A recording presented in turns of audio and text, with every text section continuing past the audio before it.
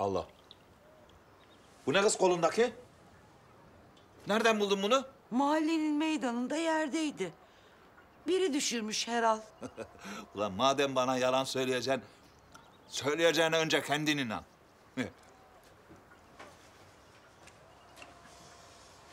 Yoksa kefenlik diye biriktirdiğin parayı mı harcadın? Yok vallahi bey. He. E o zaman? Lan sakın çiftlikten mi çaldın yoksa? Eyvah! Kimin malı kız o? Bilmiyorum ki. Salonda duruyordu. Kimseler görmeden atıverdim koynuma. Bu Allah cezanı vermesin senin. Çıkar şunu çıkar. Hem çalmış hem de takmış takıştırıyor. Deli karı. Çıkar şunu çıkar. Hadi hadi.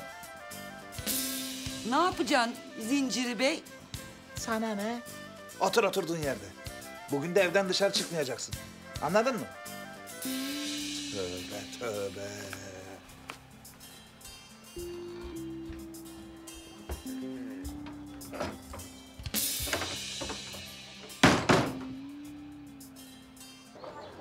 Nereye kurban sabah sabah?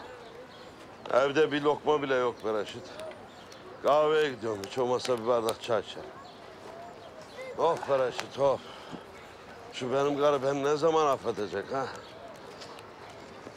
Karı kısmı narin olur Cemşir.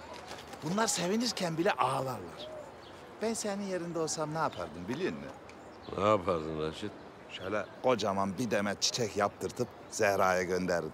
Tövbe tövbe. Muhallebi evladı mıyım ben Reşit? Ha ne çiçeği? Hem dünya para tutar o şimdi.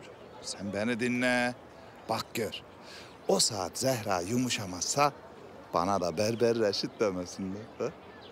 İyi peki.